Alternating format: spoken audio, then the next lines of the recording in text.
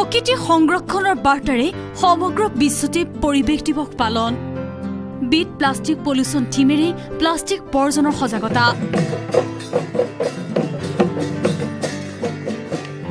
বিশ্বৰ লগতে ৰাজ্যৰ ভিন্ন প্ৰান্তত অতি উলহ মালহেৰে পালন কৰা হয় পৰিৱেশ দিৱস।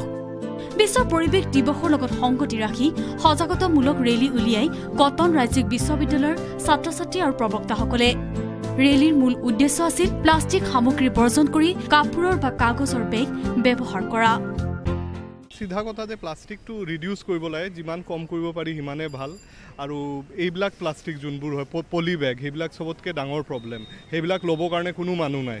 আৰু এইটো বৰ্জন কৰাটোৱে খুব দৰকাৰ আজি আজিৰ ডেটত আমাৰ বনানী কলাক্ষেত্ৰ ফাউণ্ডেশ্যন আৰু অভিনয়ৰ উদ্যোগত শংকৰদেৱ কলাক্ষেত্ৰত বিশ্ব পৰিৱেশ দিৱস উপলক্ষে দিনজোৰা কাৰ্যসূচীৰে আয়োজন কৰে গছ বিহু মেলা।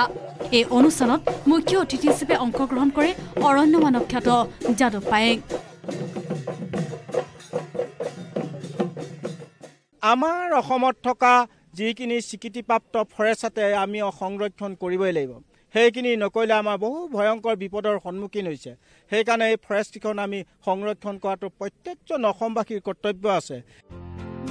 ডিগবৈত পাণবাৰীস্থিত ঐৰাৱত ভৱনৰ সমীপত বাইছ কোটি টকীয়া ছিগনেচাৰ প্ৰকল্পৰ আধাৰশিলা উন্মোচন কৰে মুখ্যমন্ত্ৰী সৰ্বানন্দ সোণোৱালে। প্ৰকল্পটোত বিভিন্ন ঔষধি গছ গছনি পূৰ্ণ সংগ্ৰহালয়টোত গৱেষণা কৰিব পাৰিব ভিন্ন স্থানৰ গৱেষকসকলে। এইখন অসমৰ সৌন্দৰ্য জীয়াই ৰাখিব লগা হ'লে আমি গছ গছনি ৰুই পেলাই ইয়াৰ সেউজীয়া আৱৰণটো সংৰক্ষণ কৰিব লাগিব। এতিয়া কেৱল অসমত পঁয়ত্ৰিছ শতাংশ আমাৰ ফৰেষ্ট কাভাৰেজ আছে। গতিকে যোৱা দিনবিলাকত আমি নৱমা নিচিন্তাকৈ বহুত গছ গছনি বিনষ্ট কৰিলোঁ ধ্বংস কৰিলোঁ। ইয়াৰ পৰিণতি আজি ভুগিব লগা হৈছে। ইয়াৰ ফলত বিভিন্ন সময়ত বিভিন্ন ধৰণৰ প্ৰাকৃতিক দুৰ্যোগ হৈছে। পেলনীয়া প্লাষ্টিকৰ বটলেৰ বনৌষধিৰ উদ্যান গঢ়ি তুলিছে যোৰহাটৰ এগৰাকী শিক্ষয়িত্ৰীয়ে। প্লাষ্টিকৰ বটলত বিভিন্ন ধৰণৰ ঔষধি গুণযুক্ত গছ আৰু নানা ৰঙৰ ফুলৰ খেতি কৰা কাকজানৰ এশ সাতাৱন্ন নং বাম কুকুৰাচোৱা প্ৰাথমিক বিদ্যালয়ৰ শিক্ষয়িত্ৰী পাপৰি বৰালৈ বিশেষ বঁটা আগবঢ়াইছে যোৰহাট বন সংমণ্ডলে মহানগৰীৰ নবীন নগৰৰ বাসুদেৱ ৰায় প্ৰাথমিক বিদ্যালয়ত বৃক্ষৰোপণ কাৰ্যসূচী।